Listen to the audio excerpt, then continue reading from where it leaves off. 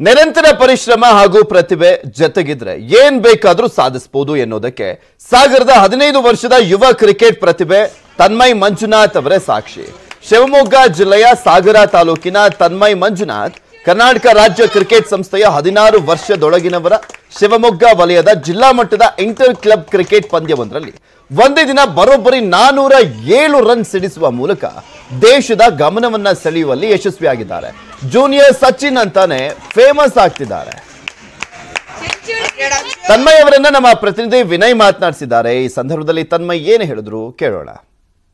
ವಿಶ್ವ ದಾಖಲೆಯನ್ನ ಮಾಡಿರುವಂತಹ ತನ್ಮಯ್. ಅಂದ್ರೆ ಕೇವಲ ಹದಿನಾರು ವರ್ಷಗಳಲ್ಲೇ ಆತ ನಾನೂರ ಏಳು ರನ್ಗಳನ್ನ ನೂರ ಅರವತ್ತೈದು ಬಾಲ್ಗಳಿಗೆ ಬಾರಿಸಿದಾನೆ. ಅದು ಏಕದಿನ ಕ್ರಿಕೆಟ್ನಲ್ಲಿ. ಇದು ಒಂದು ರೀತಿಯಲ್ಲಿ ವಿಶ್ವ ದಾಖಲೆ ಅಂತಾನೆ ಹೇಳ್ಬೋದು. ಈಗ ಈ ಬಗ್ಗೆ ಮಾತಾಡೋದಕ್ಕೆ ನಮ್ಮ ನಮ್ಮ ಜೊತೆ ತನ್ಮಯ್ ಅವರು ಸಿಕ್ಕಿದ್ದಾರೆ. ಇದು ಎಕ್ಸ್ಕ್ಲೂಸಿವ್ ಅಂತಾನೆ ಹೇಳ್ಬೋದು. ನ್ಯೂಸ್ ಏಟಿನಲ್ಲಿ ಅವರು ಮಾತಾಡ್ತಾ ಇದ್ದಾರೆ. ಈ ಬಗ್ಗೆ ಇವರು ಬರೀ ಒಂದ್ ಎಕರೆ ಜಮೀನಿನಲ್ಲಿ ಕೃಷಿ ಮಾಡಿ ಪ್ರತಿ ತಿಂಗಳ ಒಂದು ಲಕ್ಷ ಸಂಪಾದನೆ ಮಾಡ್ತಾರೆ. ಇವರಿಂದ ಕಲಿಬೇಕಾ? ಫ್ರೀಡಮ್ ಆಪ್ ಅನ್ನ ಈಗಲೇ ಡೌನ್ಲೋಡ್ ಮಾಡಿ. ಅವ್ರ ಬಗ್ಗೆ ಅವ್ರ ಹತ್ರನೇ ಈ ಬಗ್ಗೆ ಕೇಳೋಣ ಹೇಗೆ ಆಡಿದ್ರಿ ಅಂತ ಹೇಳಿ. ತನ್ಮಯ್ ಅವರೇ ನೀವು ನೋಡಿದ್ರಿ ಅಂದರೆ ಅಂದ್ರೆ ಈಗ ಮ್ಯಾಚ್ ಅನ್ನ ಆಡ್ತಾ ಇದ್ರಿ ಇಷ್ಟು ದಿನಲ್ಲೇ ದನದಲ್ಲಿ ಅಂದ್ರೆ ನಿಮ್ ಇಷ್ಟು ಸ್ಕೋರ್ನ ಮಾಡ್ತೀನಿ ಅಂತ ಅನ್ಕೊಂಡಿದ್ರಾ ನೀವು? ಅನ್ಕೊಂಡಿರ್ಲಿಲ್ಲ ಯಾವತ್ತು ಬಟ್ ಅದಾಗದೇ ಬಂತು ಹೋಗ್ತಾ ಹೋಗ್ತಾ ಇನ್ನೂ ಜಾಸ್ತಿ ಹೊಡಿಬೇಕು ಅನಿಸ್ತು. ಸೊ ಹಾಗೆ ಕಂಟಿನ್ಯೂ ಆಯ್ತು ಹೇಗಿತ್ತು ನಿಮ್ಮ ಪ್ರಾಕ್ಟೀಸ್ ಅಂದರೆ ನೀವು ಈ- ರೀತಿ ಈ ರೀತಿ ಆಡಬೇಕಂದ್ರೆ ವರ್ಲ್ಡ್ ರೆಕಾರ್ಡ್ ಮಾಡಬೇಕು ಅಂದರೆ ಒಂದು ಒಂದು ರೀತಿಯಲ್ಲಿ ಒಂದು ಇದನ್ನು ಮಾಡಬೇಕು, ತಪಸ್ ಮಾಡಬೇಕು ಅಂತಲೇ ಹೇಳ್ಬೋದು. ಹೇಗಿತ್ತು ನಿಮ್ಮ ಪ್ರಾಕ್ಟೀಸ್? ಪ್ರಾಕ್ಟೀಸ್ ಡೈಲಿ ಮಾಡ್ತಿದ್ವಿ. ಸೊ ಇಯರ್ಲಿ ಫುಲ್ ಮಾಡ್ತೀವಿ. ಬೆಳಗ್ಗೆ ಟೂ ಅವರ್ಸ್ ಸಂಜೆ ಟೂ ಅವರ್ಸ್ ಫುಲ್ ಮಾಡ್ತೀವಿ. ಎಲ್ಲ ಒಳ್ಳೊಳ್ಳೆ ಬೌಲರ್ ಸಿಗ್ತಾರೆ. ಸೊ ಪ್ರಾಕ್ಟೀಸ್ ಚೆನ್ನಾಗಾಗುತ್ತೆ ಫೆಸಿಲಿಟೀಸ್ ಎಲ್ಲ ಚೆನ್ನಾಗಿದೆ. ಸೊ ಹಾಗೆ ಡೈಲಿ ಪ್ರಾಕ್ಟೀಸ್ ಮಾಡ್ತಾ ಇರ್ತೀವಿ. ಓಕೆ ನಿಮ್ಮಲ್ಲಿ ಈ ಸಿಗುವಂಥ ಪ್ರಾಕ್ಟೀಸನ್ನು ಪಡ್ಕೊಂಡು ಈ ಈ ಹಿಂದೆ ನೀವು ಕೂಡ ಯಾವ್ಯಾವ ದಾಖಲೆಗಳನ್ನ ನೀವು ಮಾಡಿದ್ರಿ? ಈ ಸ್ಕೋರ್ ಜೊತೆಗೆ ಹಿಂದೆ ಯಾವ್ಯಾವ ದಾಖಲೆಗಳನ್ನ ಮಾಡಿದ್ರಿ? ಜೊತೆಗೆ ಯಾವ ಗ್ರೇಡಲ್ಲಿ ಆಟ ಆಡಿದ್ರಿ ನೀವು? ಲಾಸ್ಟ್ ಇಯರ್ ಸ್ಟೇಟ್ ಪ್ರೊಬಲ್ಸ್ ಆಡಿದೆ. ಸೊ ಹಾಗೆ ಆಡ್ತಾ ಇರ್ತೀವಿ. ಸೊ ಇಷ್ಟು ದಿನದಲ್ಲಿ ಅಂದರೆ ಈ ಸ್ಕೋರ್ಗಿಂತ ಹಿಂದೆ ಹಂಡ್ರೆಡ್ ಆಗಿರ್ಬೋದು ಟೂ ಹಂಡ್ರೆಡ್ ಆಗಿರ್ಬೋದು ಅದನ್ನು ಯಾವ್ದಾದ್ರು ರೀಚ್ ಮಾಡಿದ್ರ ನೀವು? ನೂರ ಎಪ್ಪತ್ತೈದು ಹೊಡೆದಿದ್ದೀನಿ. ಟೋಟಲ್ ಸೆವೆನ್ ಹಂಡ್ರೆಡ್ಸ್ ಹೊಡೆದಿದ್ದೀನಿ. ಇದು ಸೇರಿ ಸೆವೆನ್ ಆಗುತ್ತೆ. ಸೊ ಓಕೆ ನಿಮಗೆ ಅಂದರೆ ಈಗ ಕ್ರಿಕೆಟ್ ಅಂತ ಬಂದ ತಕ್ಷಣ ನಿಮಗೆ ರೋಲ್ ಮಾಡ್ಲಂತ ಒಬ್ರು ಯಾರೋ ಒಬ್ರು ಇರ್ತಾರೆ. ಸೊ ಅವ್ರು ಯಾರು ನಿಮ್ಮ ಅಪ್ಪನೇ ರೋಲ್ ಮಾಡಲ್ ಸೊ ಅಪ್ಪನೇ ಆಡ್ತಾ ಇದ್ರು ಮುಂಚೆ. ಸೊ ಅಪ್ಪ ಆಡಿದ್ ನೋಡಿ ನೋಡಿ ನನಗೂ ಹಾಗೆ ಬಂದ್ವಿ ವರ್ಲ್ಡ್ ಕ್ರಿಕೆಟಲ್ಲಿ ಅಂದರೆ ಇಂಡಿಯಾ ಕ್ರಿಕೆಟ್ ಟೀಮ್ ಆಗಿರ್ಬೋದು world cricket team class batsmen ಆಗಿರ್ಬೋದು ಅವರಲ್ಲಿ ಯಾರು ಇಷ್ಟ ನಿಮಗೆ? ವಿರಾಟ್ ಕೊಹ್ಲಿ ಇಷ್ಟ ತುಂಬ. ಓಕೆ ಮುಂದೆ ಅಂದರೆ ಈಗ ಮುಂದಿನ ದಿನಗಳಲ್ಲಿ ನೀವು ಯಾವ ರೀತಿ ಕ್ರಿಕೆಟ್ ಆಡಬೇಕು ಅಂತಿದ್ದೀರಿ ಯಾವ ಟೀಮ್ ಅಂದರೆ ಇಂಡಿಯಾ ಟೀಮ್ಗೆ ಏನಾದ್ರು ಹೋಗ್ಬೇಕಂತಿದ್ರು ಐ ಪಿ ಎಲ್ ಅಂತ ಆ ಥರ ಈಗ ಸುಮಾರು ಅವಕಾಶಗಳಿದ್ದಾವೆ ಸೊ ಯಾವ್ದು ನಿಮ್ಗೆ ಆಸೆ ನಿಮಗೆ? ನಂಗೆ ಇಂಡಿಯಾಕ್ಕೆ ಆಡಬೇಕು ಅಂತ ತುಂಬ ಆಸೆ ಇದೆ. ಸೊ ಅದ್ರ ಮೇಲೆ ವರ್ಕ್ ಮಾಡಬೇಕು ಅಂತ. ಓಕೆ ಈಗ ನಿಮ್ಮಲ್ಲಿ ಈಗ ಸಿಕ್ಕಿರುವಂಥ ಫೆಸಿಲಿಟೀಸ್ ಎಲ್ಲ ನೀವು ಈಗ ಮತ್ತೆ ನೆಕ್ಸ್ಟ್ ಫ್ಯೂಚರಲ್ಲಿ ಯಾವ ಗೇಮನ್ನು ಆಡೋದಕ್ಕೆ ಇಷ್ಟಪಡ್ತಿದ್ದೀರಿ ಈಗ? ಹಿಂಗೆ ಆಡ್ತಾ ಇರ್ತೀನಿ. ಸೊ ಚಾನ್ಸಸ್ ಸಿಗ್ದಲ್ಲಿ ಹೋಗಬೇಕು ಅಂತ ಅಷ್ಟೆ ಹಾಗೆ ನಿಮಗೆ ಮುಂದಿನ ದಿನಗಳಲ್ಲಿ ಒಳ್ಳೆ ರೀತಿಯಾಗಿ ಅಂದರೆ ಇಂಡಿಯಾ ಕ್ರಿಕೆಟ್ ಟೀಮ್ಗೆ ಆಡುವಂಥ ಅವಕಾಶ ಸಿಗಲಿ ಆಲ್ ದ ಬೆಸ್ಟ್ ನೀವು ನೋಡಿದ್ರಲ್ಲ ವೀಕ್ಷಕರ ಇದು ಶಿವಮೊಗ್ಗದಲ್ಲಿಂತಹ ಒಂದು ರೂರಲ್ ಏರಿಯಾದಲ್ಲಿ ಬೆಳೆದಂತಹ ಹುಡುಗನ ಪ್ರತಿಭೆಯನ್ನ ಹೊರತರೋದಕ್ಕೆ ಆ, ಏನು ನಾಗೇಂದ್ರ ಪ್ರಸಾದ್ ಅವರು ಆಗಿರ್ಬೋದು ಹಾಗೆ ಅವರ ಪಂಡಿತ್ ಅವರಾಗಿರ್ಬೋದು ಹೀಗೆ ಎಲ್ಲರೂ ಕೂಡ ಶ್ರಮವನ್ನ ಪಟ್ಟಿದ್ದಾರೆ. ಈಗ ಆತ ಏನು ಇಂಡಿಯಾ ಟೀಮ್ಗೆ ಆಡ್ಲಿ ಅಂತ ಕೂಡ ಬಯಸ್ತಾ ಇದ್ದಾರೆ. News eighteen Kannada Vinay Purdal Shivamogga. ಗುರಿ ಮುಟ್ಟಬೇಕು ಅಂದ್ರೆ ಗುರುವಿನ ಪಾತ್ರ ದೊಡ್ಡದು ಅಂತಾರೆ.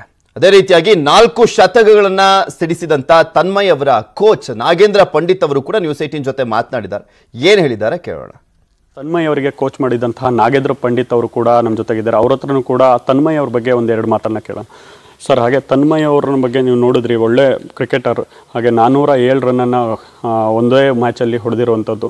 ಒಂಥರ ವಿಶೇಷವಾಗಿ ಈ ಗೇಮ್ ಅಂತಲೇ ಹೇಳ್ಬೋದು. ಸೊ ಅವರು ಪ್ರಾಕ್ಟೀಸ್ ಹೇಗಿತ್ತು ಸರ್? ಇದಕ್ಕೆ ಪ್ರಿಪ್ರೇಷನ್ನು ತುಂಬ ಮಾಡ್ಕೊಳ್ಬೇಕಾಗತ್ತೆ. Tanmayi last year state probable ಆದಾಗ ನಾವು ಸಲ್ಟನ್ ಅಂದ್ಕೊಂಡು ಅವನು ಈ ವರ್ಷ ಸ್ಟೇಟ್ ಆಡ್ತಾನೆ. ಸಾಗರದಲ್ಲಿ ಪ್ರಥಮ ಬಾರಿಗೆ ಒಬ್ಬ ಹುಡುಗ ಸ್ಟೇಟ್ ಆಡ್ತಾನೆ. ಅದು ನಂದು Nagendra Pandit cricket academy start ಆಗಿ ಒಂದು ವರ್ಷ, ಒಂದು ವರ್ಷದೊಳಗೆ ಒಬ್ಬ ಹುಡುಗ ಸಾಗರದಂಥ ಸಣ್ಣ ಊರಿಂದ ಸ್ಟೇಟ್ ಆಡ್ತಾನೆ ಅಂದರೆ ಅದು ದೊಡ್ಡ ವಿಚಾರ. ಸೊ ಆಗ ಏನಾಯಿತು ಅಂದರೆ ಅವನು ಸೆಲೆಕ್ಟ್ ಆದ್ರೂ ಅವನಿಗೆ ಅವಕಾಶ ಸಿಗಲಿಲ್ಲ. ಕೋವಿಡ್ ಕಾರಣದಿಂದ ಕ ಮಿಸ್ ಆಯಿತು. ಜೊತೆಗೆ ಈಗ ನಾನ್ನೂರ ಏಳು ರನ್ಗಳನ್ನು ಒಂದೇ, ಅಂದರೆ ಒಂದೇ ಮ್ಯಾಚಲ್ಲಿ ನೂರ ಅರವತ್ತೇ ಐದು ಬಾಲ್ಗಳಿಗೆ ಹೊಡೆದಿದ್ದಾರೆ ಅಂದರೆ ಸೊ ಅದನ್ನು ಬಿ ಸಿ ಸಿ ಆಗಿರ್ಬೋದು ಸ್ಟೇಟ್ ಕ್ರಿಕೆಟ್ ಆಗಿರ್ಬೋದು, ಯಾವ್ದಾದ್ರು ರೆಕಗ್ನೈಸ್ ಮಾಡಿದೆಯಾ ಈ ಟೂರ್ನಮೆಂಟು ಆಡ್ತಾ ಇರೋದು ನಾವು ಕರ್ನಾಟಕ ಸ್ಟೇಟ್ ಕ್ರಿಕೆಟ್ ಅಸೋಸಿಯೇಷನ್ ಅವ್ರದ ಪ್ರಾಯೋಜಿತ ಟೂರ್ನಮೆಂಟ್. ಇದು ಲೋಕಲ್ ಮ್ಯಾಚ್ಗಳಲ್ಲ ಎಕ್ಸಿಬಿಷನ್ ಮ್ಯಾಚ್ ಅಲ್ಲ. ಆಡಿರೋ ಟೀಮು ಅಷ್ಟೇ ಸದೃಢವಾದ ಟೀಮು, ಜೊತೆಗೆ ಗ್ರೌಂಡ್ ಕೂಡ ಅಷ್ಟೇ ದೊಡ್ಡ ಗ್ರೌಂಡ್ ಸಣ್ಣ ಗ್ರೌಂಡ್ ಅಲ್ಲ. ನಾನೂರು ಏಳು ಹೊಡೆದಿರೋದು ಇವತ್ತಿನ ದಿವಸಕ್ಕೆ. ಯಾವುದೇ ಕ್ರಿಕೆಟ್ರು ನೂರು ಹೊಡೆದ್ರೆ ಅದನ್ನು ನಾವು ನೂರು ಅಂತಲೇ ಹೇಳ್ತೀವಿನ? ಅದನ್ನು ನಾನು ಹಾಗೆ ಹೊಡೆದ ಹೀಗೆ ಹೊಡೆದ ಅಂತ ಹೇಳಲಿಕ್ಕೆ ಸಾಧ್ಯವೇ ಇಲ್ಲ. ನೂರಾಯಿತು, ಇನ್ನೂರಾಯಿತು, ಮುನ್ನೂರಾಯಿತು ನಾನ್ನೂರ ಏಳು. ಇವತ್ತಿನ ದಿವಸಕ್ಕೆ ಐವತ್ತು ಓವರ್ ಪಂದ್ಯಗಳಲ್ಲಿ ನಾನ್ನೂರು ಏಳು ಒಬ್ಬ ಹುಡುಗ ಹೊಡಿತಾನಂದರೆ ಅದನ್ನು ಬಿ ಸಿ ಸಿ ಎ ಆಗಲಿ ಆರ್ಲ ನಮ್ಮ Karnataka state cricket association recognise ಮಾಡೇ ಮಾಡ್ತಾರಂತ ನನಗೆ ಭರವಸೆ ಇದೆ. ಇವತ್ತಿನ ದಿವಸಕ್ಕೆ B C C A president ಅವರು ಕರ್ನಾಟಕದವರೇ ಆಗಿರೋದ್ರಿಂದ ರೋಜರ್ ಬಿನಿ ಅವರು ಇವನ ಹುಡುಗನ ಆಟವನ್ನು ಗಮನಿಸಿರ್ತಾರೆ. ನಾನು ಹೇಳಬೇಕು ಅಂದರೆ ಡಿ ಪಿ ಸತೀಶ್ ಅಂತ ನ್ಯೂಸ್ ಏಯ್ಟೀನ್ ಚಾನಲ್ ಇನ್ಚಾರ್ಜ್ ಒಬ್ಬರಿದ್ದಾರೆ ಸೌತ್ ಏಷ್ಯಾದವರು ಅವರು ಒಂದು ಟ್ವೀಟ್ ಮಾಡಿದರು ಇವನ ವಿಚಾರದಲ್ಲಿ. ಆ ಟ್ವೀಟನ್ನು ರೀಟ್ವೀಟ್ ಮಾಡಿ ಅದನ್ನು ರಾಜ್ದೀಪ್ ಸರ್ದೇಸಾಯಿ ಅಂತ ಒಬ್ಬ ರಿಪೋರ್ಟರ್ ದೊಡ್ಡ ಮಹಾನ್ ರಿಪೋರ್ಟರ್ ಅವರು. ಅವರು ಅದನ್ನು ಬರೆದ್ಬಿಟ್ಟು India Indian Indian star is born in the rural area small ಟೌನಲ್ಲಿ ಅಂತೇಳಿ ಬರ್ದಿರೋದು ಅವನಿಗೆ ಒಂದು ದೊಡ್ಡ ಒಂದು ಬ್ಲೂ ಬೂಸ್ಟ್ ಅದು. ಈ ನ್ಯೂಸ್ ಎಲ್ಲಿ ತನಕ ಅಂದರೆ ಡೆಲ್ಲಿಯಿಂದನೂ ನನಗೆ ಸುಮಾರು ಕಾಲ್ಗಳು ಬಂತು. ಶಿವಪ್ರಸಾದ್ ಶೆಟ್ಟಿ ಅಂತ ಡೆಲ್ಲಿಯಲ್ಲಿದ್ದಾರೆ. ಅವರು ಸಹಿತ ಫೋನ್ ಮಾಡಿಬಿಟ್ಟು ನಮಗೆ ಆ ಹುಡುಗಂಗೆ ಉಜ್ವಲವಾದ ಭವಿಷ್ಯ ಇದೆ.